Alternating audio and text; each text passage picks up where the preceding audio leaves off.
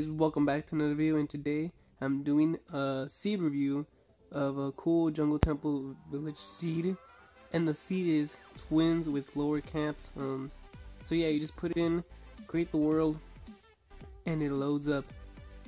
And we got a village which is pretty cool because it's in the middle of a jungle slash desert um so yeah it's cool as well. And the village um it does not contain a blacksmith as I, I know of.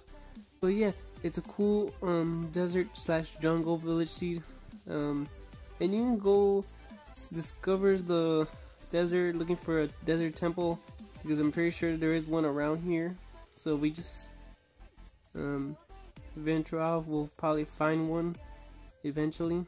So they're around here somewhere. You just gotta look up, look very closely. Um, so yeah. it's a really good seed. You could like adventure off into like cool things, find under underground things. And what is this? Oh, that that would look weird though. All right, but it's a pretty good seed. No lie, it's a jungle seed. What are you expect more from it? Um, but yeah, I would I would recommend the seed to anyone that loves the jungle and desert and just has like to adventure off into new places of Minecraft. Probably people haven't been in this place of Minecraft in the jungle. The jungle and the desert are usually forgotten, but now this update is bringing them so they can be remembered more. Um, so yeah. So I hope you guys enjoy the video. Um, the seed is in the description as well, as well in, the, in this video.